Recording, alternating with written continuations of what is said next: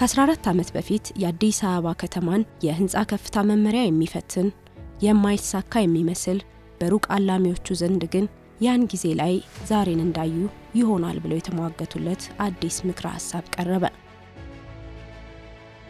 ባለ 50 ፎቅ ህንፃ እንዲሰራ ነበረ በወቅቱ የነበረውን ከንቲባ የጠየቅኩት። ድንጋጤያቸውንስ ዛሬ ማስታውሳለሁ። ባለ 50 ፎቅ ኢትዮጵያ ላይ በምን ተአምር ይቆማል የሚሉት ነገር ቢቸግራቸው 50 ፎቅ ላይ እኮ ውሃ የሚያወጣ እኛ ቴክኖሎጂ የለንም። 50 ፎቅ ላይ አደጋ ቢደርስ ከአደጋ ማዳን የሚችል facility የለንም ብለውኛል። ግን ገርሟቸዋል ያንን የሚያስብ መኖሩ። አይ 30 ብትሰሩ ይበቃል ብለውኛል። በወቅቱ ሰነዶችን ስናገላብጥ ያየነው reference ምንድን ነው? ያን በዛ ወቅት ከነበሩ የስራ ኃላፊዎችም የተረዳ ነው። የዛሬ 80 ዓመት ጀምሮ ባንኩ ሲመሰረት በወቅቱ የነበሩ እንግዲህ ስራ መሪዎች ባንኩ ከሌሎቹ ከሌሎች international ከሆኑ ባንኮች ጋር ወይም በዓለም አቀፍ ከሚሰሩ ባንኮች ጋር ተወዳዳሪ የሚሆን ባንክ መሆን አለበት የሚል ራዕይ ነበራቸው እና አንዱ መገለጫ ሆኖ የተቀመጠው ቋሚ የሆነ የራሱ ህንፃ ሲኖረው ነው። በተከታታይ ለመጡት የስራ ኃላፊዎች በተከታታይ ለመጡት የስራ መሪዎችም ይሄ ጽንሰ ይሄ ሀሳብ የተጋባ ነበረ። ኢትዮጵያ ንግድ ባንክ በኢትዮጵያ ኢኮኖሚ ውስጥ ታላቅ ድርሻ አለው። ያኔም አሁንም ይህንን ሚናውን ለማሳካት ቁልፍ ጉዳይ የሚሰራበት ቦታ ምቹ መሆን አለበት።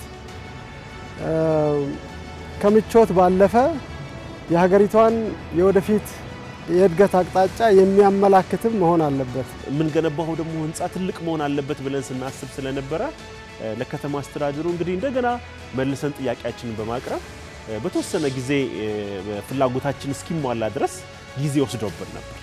ግን በሂደት የከተማ አስተዳደሩም ጥያቄውን ተረድቶ በየጊዜው ለምናነሳቸው የቦታ ጭማሪ ጥያቄዎች መልስ እየሰጠን ከ7000 ወደ 11000 ከዛ ደግሞ ከፍ እያለ አሁን ደግሞ ወዳለንበት ወደ 18000 ካሬ አጠቃላይ ቦታ ፍቃድ እንድናገኝ ምክንያት ሆኗል ማለት ነው። በተፈቀደው 18000 ካሬ ሜትር ቦታ ላይ የሚገነባው ህንፃ የተለየና በርካታ አገልግሎቶችን የሚሰጥ ለባንኩም ለአገርም የሚጠቅም እንዲሆን በርካታ ምክክሮች፣ የዲዛይንና ግንባታ ውሎች ተደረጉ። ባንኩ በየቦታው ተበታትኖ ያለው የሚሰሩ facilities ደግሞ ለንግድ ባንክ ብቻ ሳይሆን ለሀገርም ለመንግስት የሚጠቅሙ ናቸው። ከተሰራ ባንኩ አቅም አለው። ያን ቢሰራ እንደተባለው የባንኩ ለራሴ የሚለው የ head office building ሰርቶ አቅም ሲሰራ image ኡንም reflect ሊያደርግ የሚችል building ሰርቶ እግረ መንገድ ለሀገር የሚያደርግ ማዕከል center ላይ ከመሆኑ ቦታው ያለው ለመንግስትም አገልግሎት ሊውሉ የሚችሉ facilities በተጨማሪ ሊኖር ይችላል። ለንግድ ባንክ ብቻ አይደለም ከተሰራ። ሀሳቤ ሌሎች ይህንን ይከተላሉ፣ መከተልም ይኖርባቸዋል። የኢትዮጵያ ንግድ ባንክ መንገድ የማሳየት ኃላፊነት አለበት፣ የእድገትን መንገድ የመቀየስ ኃላፊነት አለበት ከሚል የመነጨ ሀሳብ ነው። የኢትዮጵያ ንግድ ባንክ ዋና መስሪያ ቤት ህንፃ ፕሮጀክት ለአገራችን አዲስ የሆነውን የዲዛይን ግንባታ ውልና ሌሎች የግንባታ ዘርፍ አዳዲስ ቴክኖሎጂና አሰራሮችን ለዘርፉ በፈርቀዳጅነት ያሳየ ፕሮጀክት ነው። ዲዛይን ለብቻ building ለብቻ በሚለው methodology ውስጥ የሚካተት ነው። ይሄ ነበር የባንኩ ተሞክሮ። እንግዲህ ያ ሂደት ተሞከረና በተወሰነ መንገድ ጥሩ የሚባሉ ዲዛይኖችን የህንፃ አማራጭ ዲዛይኖችንም አግኝተን ነበር፣ አወዳድረንም ሸልመናል። ከዛ በኋላ ግን ያንን ዲዛይን ለማሰራት በታሰበው መንገድ መቀጠል አልቻለም። ፈተናዎች በዙበት። ስለዚህ ያ ሂደት እንደገና ከረዥም ጊዜ በኋላ እንደገና እንዲቋረጥ ተደርጎ የተሻለ ብለን መጨረሻ ላይ ውሳኔ የተሰጠበት ዲዛይኑና building ኡን በአንድ ላይ ማሰራት የሚለው ሀሳብ more ገዢ ሆነ። እዚህ ሀገር ለህንፃ design build delivery system contract የለም ሀገሪቷ ውስጥ። ከውጭ ሀገር ልምዶች ምናምኖች ወስደን draft አደረግ ነው ማለት ነው። it was ከባድ ነበር። እንግዲህ ይሄ በመደረጉ ሙሉ ኃላፊነቱ የማን ሆነ? የኮንትራክተሩ ሆነ። ነገር ግን በተቃራኒው ደግሞ ለእኛ ደግሞ ለባንኩ ደግሞ ትልቅ assignment ም ነው። ሙሉ ለሙሉ EPC ኮንትራት ነው ብለን ግዢውንም ዲዛይኑንም ግዢውንም እንደገና መገንባቱንም ኃላፊነት ለኮንትራክተሩ ብንሰጣም በእያንዳንዱ ስራ ላይ ደግሞ ክትትል የሚፈልግ ስራ ነው። ሙሉ ለሙሉ ለኮንትራቱ ብንሰጥ አሁን የጨረስነውን የተጨረሰውን ያለቀውን ህንፃ በፍጹም እናገኘዋለን ብለን አናስብም። ለምን በየጊዜው supervision በመሰራቱ የዲዛይንና የ material approval ስራው ላይ highly engaged በመሆኑ ባንኩ ብዙ የማሻሻያ ስራዎችና የተሻለ ቴክኖሎጂዎችን ለማምጣት አግዞናል ማለት ነው። ይሄ ኮንትራት ልዩ የሚያደርገው አንደኛው part የጠቅላላ ዋጋው በ lump sum መልክ ነው ለኮንትራክተሩ የተሰጠው። ይሄ ንግድ ባንክም በብዙ መንገድ ጠቅሞታል። ከፕሮጀክቱ የሚመጡትም በተለይ ከዲዛይን የሚመጣውን risk ከተለያዩ ነገሮች የሚመጡትን risk ራሱን protect እንዲያደርግ አድርጎታል። ፕሮጀክቱ በ2007 ዓ.ም መጨረሻ በግንባታ ተቋራጩ በቻይና መንግስት ኮንስትራክሽን ኢንጂነሪንግ ኮርፖሬሽን አማካኝነት ግንባታው ተጀምሯል።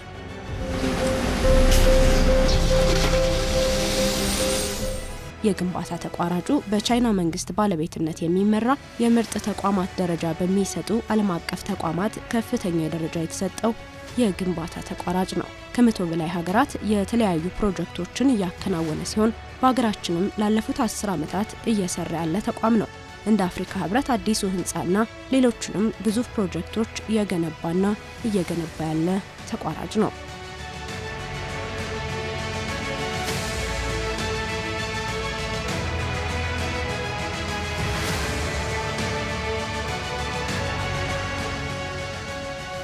የአዲስ አበባ ዩኒቨርሲቲ በአማካሪነትና ዋና ተቆጣጣሪነት መሳተፍ በመሰል ትላልቅ ፕሮጀክቶች ላይ አናሳ ተሳትፎ የነበረውን ዘርፉን የሚያበረታታና በርካታ እውቀትና ክህሎቶችን የሀገር ሀብት በማድረግ በራስ አቅም ለመስራት አቅም የሚፈጥር መሆኑን በዘርፉ ለበርካታ ዓመታት የማስተማርና የተግባር ልምድ ያላቸው ባለሙያዎች ይናገራሉ። ይሄ ፕሮጀክት ሙሉ ለሙሉ የ design review፣ የ construction supervision ኡ፣ contract administration ኡ በአብላጫው በኢትዮጵያውያንና በኢትዮጵያውያን መሐንዲሶች ነው የተሰራው። ይሄ ትልቅ አቅም ማጎልበት እንድንችል አድርጎናል። አንዳንድ ሀገራት አሉ ቴክኖሎጂውን ይዘው ፊውዝ አድርገው ቴክኖሎጂውን ይሰሩትና ያን ማስተላለፍ ላይ እጥረት አለ። አያስተላልፉም፣ ደስተኛ አይደሉም። ለምሳሌ እያንዳንዱን specification እና እያንዳንዱን ጽሁፍ በሀገራቸው ቋንቋ እንዳታነቢባቸው የሚያደርጉ አሉ።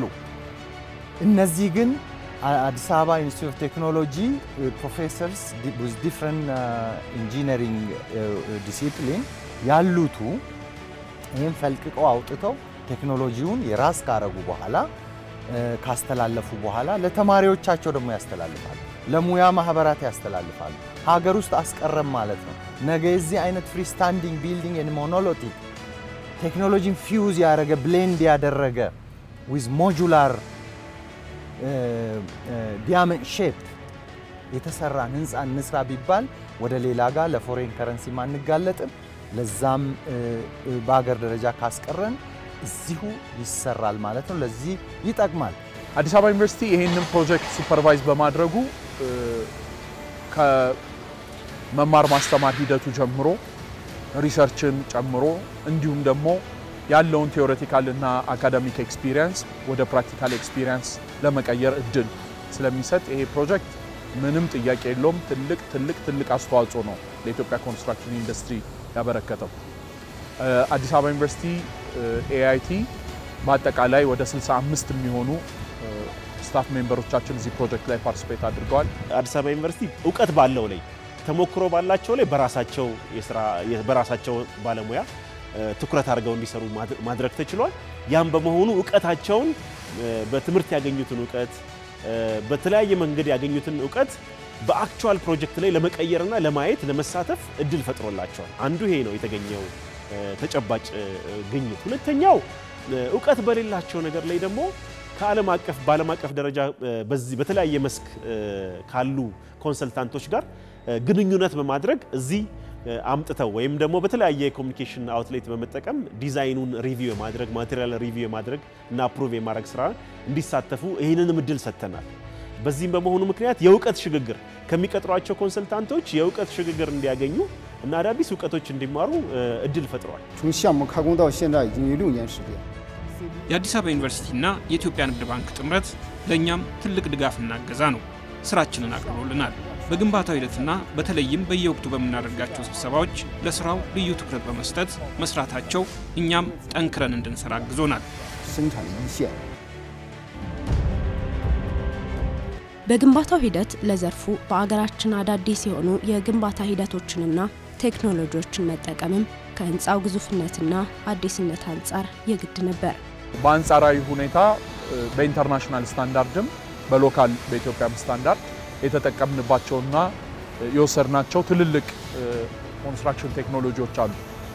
የመጀመሪያው የአፈር ስራው በሚሰራበት ሰዓት የ shoring ወይም እንዳይናድ መከላከያ በምንሰራበት ሰዓት ለየት ባለ መልክ local shoring labor based shoring ነው contractor ኡ የተጠቀመው። ይሄ በንጽጽር ቻይና ሀገር mature ያደረገ practice ቢሆንም ኢትዮጵያ ውስጥ ብዙ practice የሚደረግ አይደለም። እሱ የመጀመሪያው የነበረው እሱ ነው። ሁለተኛ foundation ኡን ወይም pile foundation ኡን ከሰራም በኋላ raft የሚባለውን pile ኦቹን አንድ ላይ የሚያያይዛቸውን cover cast በምናደርግበት ሰዓት 1.5 ሜትር depth ያለው raft ነው። ትልቅ concrete volume ያለው። ይህ concrete volume በአንዴ ከተሞላ crack ስለሚፈጥር sound እና crack free የሆነ raft foundation ለመስራት ሞክረናል እዚህ ፕሮጀክት ላይ። ይሄ practice ኢትዮጵያ ውስጥ ከዚህ በፊት በዚህ በሰፋ መልክ building ፕሮጀክቶች ላይ የሚደረግ አይደለም። የግድብ ፕሮጀክቶች ላይ እንደዚህ አይነት practice ኦችን እንጠቀማለን። በፕሮጀክቱ መጀመሪያ የ BIM ቴክኖሎጂን ተጠቅመናል። በ22 ሜትር ርዝመት ጥልቀት የመሰረተ ግንባታ ቴክኖሎጂም ነው የተጠቀምነው። ግዙፍና ረጃጅም ህንፃ ለመገንባት የሚያስችለውን ልምድና ቴክኖሎጂም ነው እዚህ ህንፃ ላይ የተገበርነው። የግንባታ ደህንነትም እንዲሁ ከተለመደው ውጪ ለመሰል ትልልቅ ህንፃዎች መጠቀም ያለብንን ቴክኖሎጂና ልምድ መጠቀም ነበረብን። የህንፃውን ጥንካሬና ደህንነት ለማረጋገጥ የ C60 concrete ቴክኖሎጂ መጠቀምም የግድ ነበር።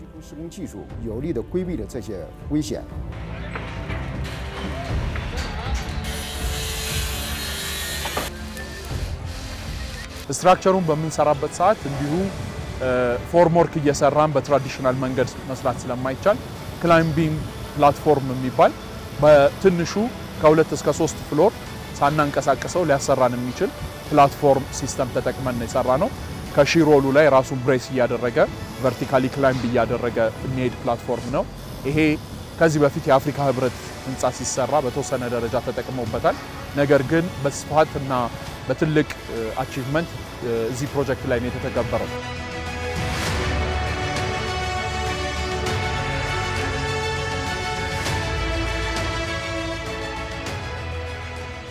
የኢትዮጵያ ንግድ ባንክ ዋና መስሪያ ቤት ህንፃ ለግዙፍነቱ የሚያስፈልጉ የህንፃ ስርዓቶች ከተለመደው ቴክኖሎጂ በላቀ ሁኔታ አቅምን የሚጠይቁ ሆነዋል። ይህ የምትመለከቱት 100 ሺህ ሊትር ውሃ የሚያጠራቅም የውሃ ማጠራቀሚያ እዚህ 24ተኛ ፎቅ ላይ ይገኛል።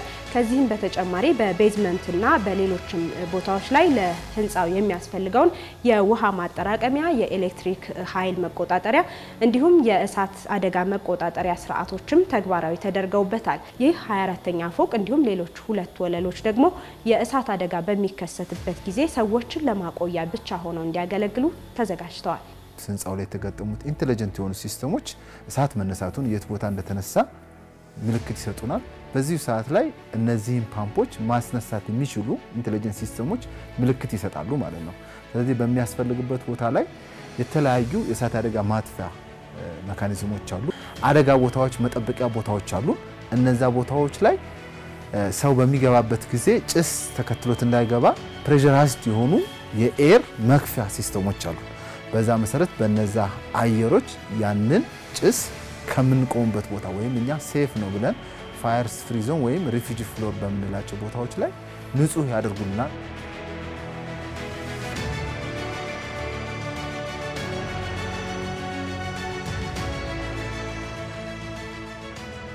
ከተለያዩ governmental organization ኦችና ከኤልፓ ጋር በመተባበር ከተለያየ የኃይል ማመንጫ substation ኦች እንዲገባ ተደርጓል። በጠቅላላው የኛ ህንፃ ወደ 10 ሜጋዋት የ power consumption ይኖረዋል። ህንፃው የሚጠቀማቸውን የተለያዩ ኃይሎች smart እና intelligent የሆኑ light controlling ሲስተሞች እንዲገጠሙለት ተደርገዋል። ይሄ ማለት መብራቱ በሚያስፈልግበት ጊዜ ወይም ሰው እንቅስቃሴ ባለበት ቦታዎች የሚበሩ የመብራት አይነቶች አሉ። የብርሃን መጠኑ ከውጭ ከፀሐይ ብርሃንና ከውስጥ ካለው ጨለማ ጋር አገናዝቦ ደግሞ የብርሃን መጠኑን የሚጨምርና የሚቀንስ ሲስተሞች ስላሉ ይሄ ኃይሉን እራሱን መቆጠብ የሚችል አድርገነዋል ማለት ነው።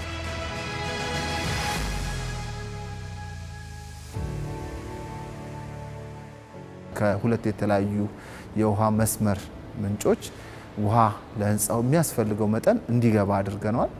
ጠቅላላ ወደ 469 ሜትር ኪዩብ በቀን ይህ ህንፃ አስፈላጊ ይፈልጋል። ይህንንም የተወሰኑትን ከውሃ ልማት የምናገኛቸውንና ተጨማሪ ደግሞ የውሃ ጉድጓድ የመቆፈር ሂደት ላይ ነው ያለ ነው። ወደ ስምንት ማጠራቀሚያዎች ህንፃው እርስ በርስ እየተቀባበለ ከ basement ጀምሮ እስከ 24ተኛ ፎቅ እና ወደ ላይ በሚያስፈልጋቸው refuge floor ኦች የምንላቸው አሉ 11ኛ፣ 24ተኛ እና 32ተኛ እርስ በርስ እየተቀባበለ ለሚያስፈልገው አገልግሎት ይውላል ማለት ነው።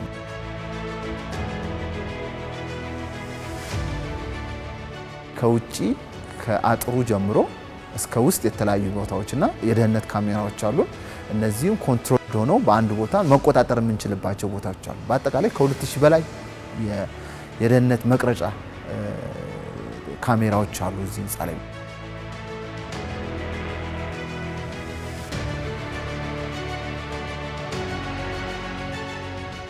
አጠቃላይ በዚህ ህንፃ ላይ ከአንድ ሜትር per ሰከንድ ከዝቅተኛው እስከ አራት ሜትር per ሰከንድ ፈጣን የሆነ ሊፍቶች ይገኙበታል። በጣም ከፍተኛው እስከ 24 ሰው መያዝ የሚችሉ ዝቅተኛ የሚባሉት እስከ 16 ሰው የሚይዝ የሊፍት መጠኖች የሰው መጠኖች አሉ። በዚህ ህንፃ ላይ latest የሆኑ የሊፍት አይነቶች አሉ። ይህ የምታዩት escalators ነው። በንግድ ማዕከልና በስብሰባ ማዕከል ውስጥ የምናገኛቸው ወደ 26 escalators ይኖሩናል። በእነዚህ በስብሰባና በንግድ ማዕከሉ ላይ የተለያዩ ሰባት ሊፍቶች አሉ።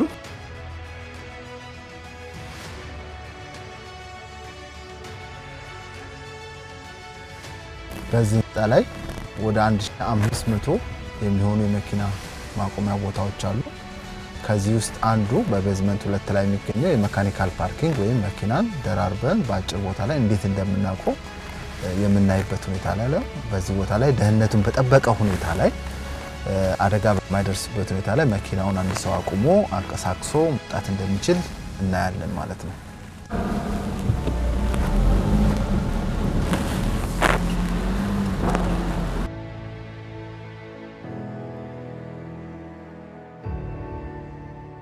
በዚህ ቦታ ላይ በተለምዶ ሶስት መኪና ብቻ ነበር የሚያቆመው። አሁን ግን መኪናውን በመደራረባችን ወደ ስድስት መኪናዎች መቆም ይችላሉ ማለት ነው። እኛ መኪናችንን ቅድም እንደገባሁት ካቆምን በኋላ መሬት ላይ እኛ ቆልፈን መሄድ ብቻ ነው የሚጠበቅብን። ሌላ ተጨማሪ መኪና በመጣ ጊዜ ባለው ክፍት ቦታ ላይ ይቆማል። ወደ ላይ በሚሄድበት ጊዜ ወደ ላይ ተነስቶ ይቆማል ማለት ነው። ከዛ ለሌላ በሚቆም መኪና ክፍት ቦታዎች ይሰጡናል።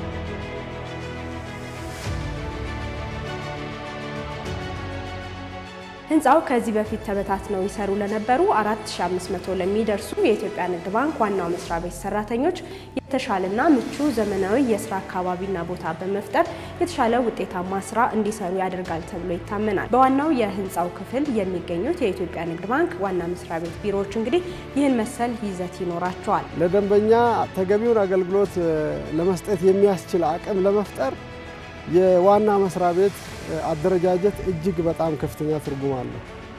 ይህን ለማስተናገድ የሚችል በቂ የሰው ኃይል መሸከም የሚችል የዋና መስሪያ ቤት ቢሮም ያስፈልጋል። ለዚህ ነው ይሄ ያስፈለገው። ምናልባት ይህም ላይ በቃ ይችላል። በቀጣይ ባንካችን የበለጠ እየሰራ የሚሄደው በዲጂታል አገልግሎት ላይ ነው። ይህን ለማስተናገድ የሚያስችል አቅም በማዕከል ነው የሚደራጀው። ያ ማዕከላችን ይህን ሊሸከም የሚችል ትልቅ አቅም ያለው መሆን አለበት። ለሚቀጥሉ ጥቂት ዓመታት ይሄኛው ህንፃችን ይሄንን አቅም አለ። ሌሎቹ ባለ ስድስትና ባለ ስምንት ፎቅ ህንፃዎች ደግሞ ለስብሰባ ማዕከልነትና ለገበያ ማዕከልነት ብቻ የሚውሉ ይሆናል። እዚህ ዋናው tower ላይ የሚገኘው 48ኛው ፎቅ ደግሞ ለጉብኝት ስፍራ ብቻ የሚውል ይሆናል። public ኡን sightseeing እንዲያደርግ ማድረጉ ራሱ ደግሞ both የ security ም ያለበት transparency ም ያለበት ስራ መስራት እንደሚቻል የሚያሳይ ሁኔታ አለ ማለት ነው። ባንካችን ቢሮ ሰርቶ እዚህ ደጅ አትድረሱ ተብሎ ተጠብቆ በጥበቃ ሰራተኛ ህዝብ የሚባረርበት አገልግሎት ሳይሆን ከኛ ህንፃ ጋር ህብረተሰቡ የከተማችን ህዝብ interact እንዲያደርግ መጥቶ ለግብይትም ለማረፍም ለመዝናናትም የሚጠቀምበት ነው። ከቁም ሳጥኑ ወይም ከሳጥኑ መውጣት አለብን። We have to think out of the box። ይሄን ስንል ምንድን ነው አንድ ህንፃ አገልግሎት ሲሰጥ ውስጡ ለ public፣ ለ private፣ ለ semi private የሚሰጥበት ሁኔታ ነው መኖር ያለበት። Mixed use ነው መኖር ያለበት። የከተማው ነዋሪ የኔ ነው ብሎ የሚንከባከበው ቅርሴ ነው ብሎ የሚያየው የሚገለገልበት ጥቅሙንም ጭምር ደግሞ እዛ ውስጥ እያየ የባለቤትነት ስሜት የሚያዳብርበት መሆኑ ይገባል። የኢትዮጵያ ንግድ ባንክ ይህንን ታሳቢ ያደረገ ስራ ነው የሰራው። ባንኩ ራሱ የህዝብ ባንክ ነው። የህዝብ ባንክ መሆኑን ደግሞ በተግባር በሚሰራቸው ልማት ስራዎች ውስጥ ጭምር አሳይቷል ማለት ነው። ህዝቡ እዛ አገልግሎት በሚያገኝበት ሰዓት የኔነትን ስሜት ያዳብራል።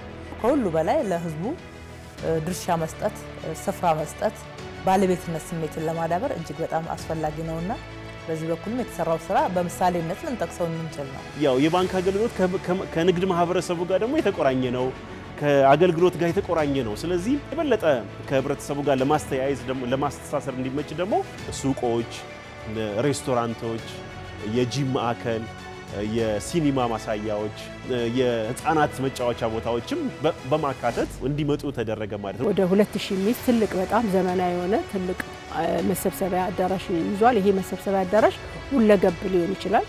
ምክንያቱም የተለያዩ ቲያትሮችን ማካሄድ ይቻላል፣ ስብሰባ ማካሄድ ይችላልና በሀገራችን ውስጥ international meeting ኦችም ከመጡ የ international የውጭ ሀገር ስብሰባዎችም የሀገር ውስጥም ስብሰባዎችም ለብዙ ለአገሩ ለአዲስ አበባችን ትልቅ አስተዋጽኦ ያደረገበት አዳራሽ ነው። Gathering space አለው፣ office space አለው፣ syndicate hall አለው፣ conference hall አለው። ህንፃ ውስጥ ወስደን space ኡ ላይ ሰው interact እንዲያደርግ አረግም ማለት ነው። ህንፃውን ለመገንባት ሲታቀድ የከተማዋን መመሪያ የፈተነና ከብዙ ጉዳዮች አኳያ የማይተገበር ቢመስልም አሁን በከተማዋ ለሚገነቡ ትላልቅ ህንፃዎች የይቻላል መንፈስን የፈጠረ ፈርቀዳጅ ህንፃ ሆኗል። የባንኩንና የከተማዋን ስምም ከሀገር አልፎ የሚያስጠራም ጭምር ነው። አይሳካም፣ አይቻልም ብዙ ጊዜ አሰናክሎናል። በዚህ በባንኩ ስራም ጭምር በሚገባ ይቻላል የሚባለው የታየበት ነው። ከዚህም በላይ እንችላለን። ችለውን ደግሞ እያየንም ያለንበት ብዙ ፕሮጀክቶች አሉን። አንዱ የኢትዮጵያ ንግድ ባንክ የሰራው ስራ ነው። አሁን እንግዲህ ስታንዳርዱን ሰቅሎታል ይሄ የኢትዮጵያ ንግድ ባንክና ከዚህ በኋላ ከዛ በላይ እንጂ ከዛ በታች ማሰብ አይቻልም። በዚህም እጅግ በጣም ደስ ብሎኛል፣ እድለኛም ነኝ። እንግዲህ ከዚህ በኋላ እዚህ ደርሰን እዚህ ላይ ረግጠን ደግሞ ትልቅ ነገር ለማሰብ አንድ ደረጃ ከፍ ብለናል ማለት ነው። እንግዲህ ይሄ ህንፃ ከአፍሪካ በቁመት ሁለተኛ ከአፍሪካ በ number of floor ሶስተኛ ከ East አፍሪካ አንደኛ tower ኡ የምንለው ዋናው የቢሮ ህንፃው ሙሉ ከፍታው 209 ሜትር ነው።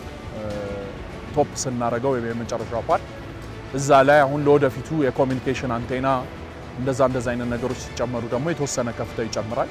ይሄ ለሀገሪቷ ጥሩ unique የሆነ iconic building መፍጠር ችሏል። ስለዚህ image ይፈጥራል ማለት ነው።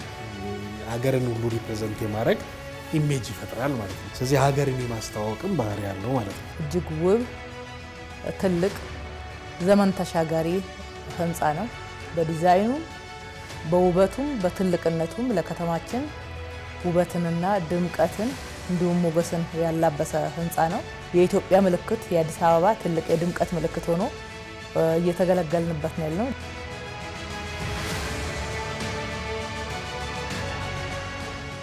ግዙፉ የህንፃ ፕሮጀክት ከስድስት ዓመታት በላይ በሆነ ጊዜ አሁን ከፕሮጀክትነት ወደ ህንፃነት አድጓል። ህንፃው በፕሮጀክቱና በግንባታው ሂደት በቀጥታና በተዘዋዋሪ ለተሳተፉትም ሆነ ህንፃውን ለሚያይ አገልግሎት እስኪሰጥበት ደግሞ ለማየት ጉጉት ይፈጥራል። በግንባታው ሂደት ለተሳተፉትም ሆነ ለማንኛውም የአዲስ አበባ ከተማ ኗሪ በእድሜ ውስጥ አንድ ትልቅ ክስተት ነው። ልጅሽ ተወልዶ ሲመረቅ ያለሽ የመጀመሪያ ደስታ አላል። ይሄ እንግዲህ እንደ አንድ ግለሰብ የሚታይ እንደ ሙያ ደግሞ የኮንስትራክሽን ኢንዱስትሪው ትልቅ እመርታ የሚያሳይ በዚህ ፕሮጀክት ደረጃ በዚህ size ደረጃ በህይወትህ እንደ professional ሰርተህ ጨርሰህ አስረክበህ ሙሉ ህይወትህን እዚህ ፕሮጀክት ላይ ተሳትፈ ነበረ እዚህ ፕሮጀክት ላይ ሰርቼ ነበር ብለህ ልታነሳው የምትችል ትልቅ iconic ህንፃ ነው። ስለሆነ ለእኔም ብቻ ሳይሆን ለሙሉ የ IT staff member ኦች እዚህ ፕሮጀክት ላይ መሳተፋችን ተመሳሳይ የሆነ ስሜት ይፈጥርብናል። የማቀርበው ምስጋና ከኃላፊነት በበለጠ በግልም ጭምር ስሜት የታከለበት ነው እና ቀድሞም የነበሩ የስራ ባልደረቦች የወጡትም እዚህ ያሉ ቀርተው ደግሞ እስከ መጨረሻው ጥግ ያደረሱ የኢትዮጵያ ንግድ ባንክ ኃላፊዎችና ሰራተኞች በከፍተኛ ጥራት ይህን ህንፃ ሰርተው እዚህ ስላበቁ የአይቲ አዲስ ዩኒቨርሲቲ ሰራተኞችም እኛን ወክለው ከድርጅቱ ላይ ጋር ቀንና ሌሊት የተጨቃጨቁ በማሰራታቸው የቻይና construction company ውም የእኛን ሀሳብ የእኛን ግፊት ወስዶ ፍላጎታችንን ከግቡ ለማድረስ ምንም እንኳ ብዙ ተጨማሪ ወጪ ሊያስወጣው የሚችል ቢሆንም ከጊዜ መዘግየት እና ከእቃ ዋጋ በመዘግየት ጭምር ይህን ችሎ እዚህ በማድረሱ እጅግ በጣም የላቀ ምስጋና አቀርባለሁ። ከመጀመሪያው ከመነሻው ሀሳብ ጀምሮ እስካሁን ድረስ በደረሰበት ሂደት ውስጥ መሳተፍ መቻሌ ትልቅ እርካታ የሚሰጥ ስሜት ነው። እንደዚ አይነት ስሜት ነው በግል የሚሰማኝ። ዘጠኝ ዓመት ሙሉ ትኩረቴን ለዚህ ብቻ ሌላ ትኩረቶችን ገድቦ በዚህም ያው ቤተሰቤም ድጋፍ አድርጎልኛል። አንድ ላይ እጅ ለእጅ ሆነን ይህን ስራ እንድሰራና እንድመራው ስለተደረገና ደግሞም ደግሞ ፍጻሜውን ስላሳየኝ በጣም ትልቅ ደስታ ነው የሚሰማኝ። ኢትዮጵያ ንግድ ባንክ የስራ አመራር ቦርድ አባላትም በጣም ከፍተኛ ክትትል ሲያደርጉልን ነው የነበረው። ለፕሮጀክታችን እጅግ በጣም የላቀውን ድጋፍ ያደረጉ የኢትዮጵያ ጠቅላይ ሚኒስትር የተከበሩ ዶክተር አብይ አህመድን እጅግ በጣም ላቅ ያለ ምስጋና ማቅረብ ፈልጋለሁ።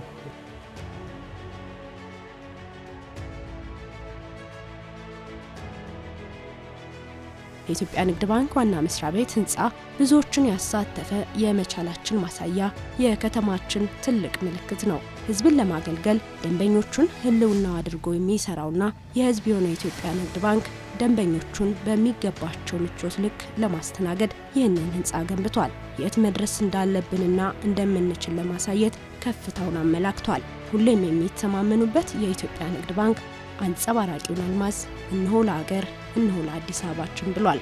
አንጸባራቂው አልማዝ የሁላችንም ኩራት፣ የሁላችንም ብሩህ ተስፋ ማሳያ